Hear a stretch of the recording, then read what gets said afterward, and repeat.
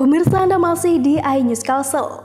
Pemerintah Provinsi Kalsel memperingati HUT ke-75, proklamasi Gubernur Tentara Alri Divisi 4 Pertahanan Kalimantan Rabu pagi.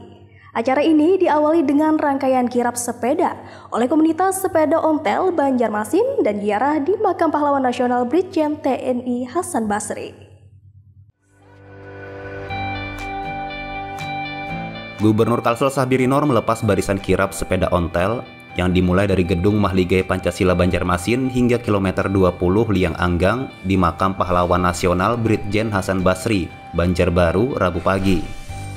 Kirap para ontelis, sebutan untuk pecinta sepeda ontel ini, mengawali rangkaian peringatan hari ulang tahun ke-75 proklamasi Gubernur Tentara Alri Divisi 4 Pertahanan Kalimantan di Kalsel.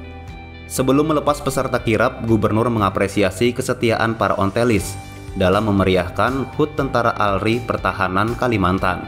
Menurut gubernur, peringatan HUT Tentara Alri Pertahanan Kalimantan adalah sebuah harga yang tidak ternilai bagi rakyat Kalsel, karena saat ini bisa bernapas lega di alam kemerdekaan. Maka dari itu, rakyat Banua patut bersyukur bisa hidup dalam kedamaian. Kegiatan kita hari ini, pelepasan sepeda ontel tentunya adalah bagian bahwa kita tidak pernah melupakan yang namanya sejarah. Jas merah. Jangan pernah melupakan sejarah. Sementara itu, salah satu ontelis Banjarmasin mengaku bangga dan senang mengikuti kirap dan memeriahkan HUT Tentara Alri Pertahanan Kalimantan.